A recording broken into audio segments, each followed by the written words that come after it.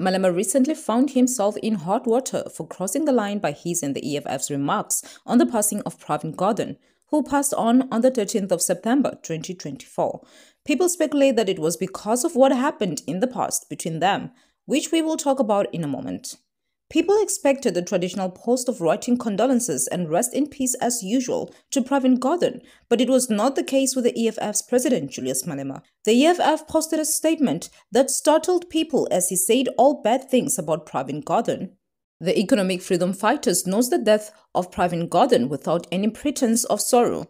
His legacy is one of destruction and betrayal by leading the collapse of South Africa's state-owned enterprises. Gordhan will be remembered as an unapologetic instrument of capitalism who left a trail of unemployment and poverty. He dies unpunished for his crimes, but the people will never forget the damage he caused. But people spotted something as well. Malema usually defended Pravin Gordhan only when he was comparing Pravin to Jacob Zuma. If I had to choose between Zuma and Pravin, Obviously, I will choose Pravin, not these criminals threatening stability and growth of our country.